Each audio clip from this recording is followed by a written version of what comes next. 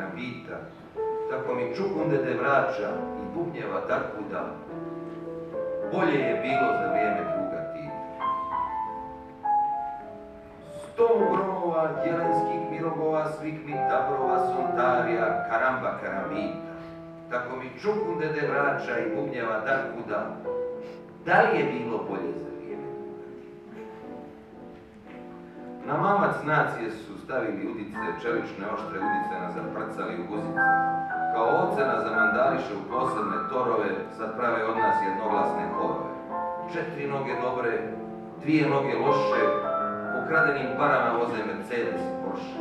Najveće poltrone su instalirali na televiziju, kao životnu viziju nam nude hipokrizi. Nebeskom narodu su uvaljeni zemaljski problemi, za pljačku izmišljeni su Predsjednik biračima odobrava volju, slika se kle na naftonosnom polju. Pred izbore, evo je Boga mi prevara nova, naivnim penzionerima se dijeli sića. Napredna inteligencija išćerana iz zemlje, na njihovom mjestu spuzalo podzemlje.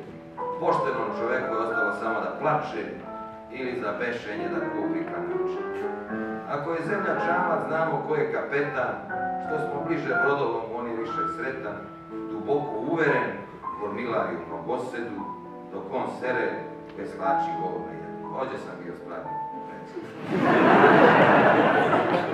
Preostaje jedino da ugasiš TV, odmoriš mozak, maneš se budala, jer te prvo očeve vrat, a onda tebe napravi invalida i na kraju ti niko ne kaže ni hvala.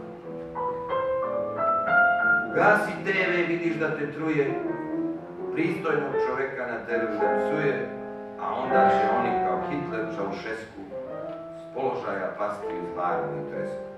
O, stom gromova jelenskih mirogova, svih mi dablova sontarija, karamba karambita, tako mi čukunde de vraća i bubnjeva darkuda, da li je bilo bolje za vrijeme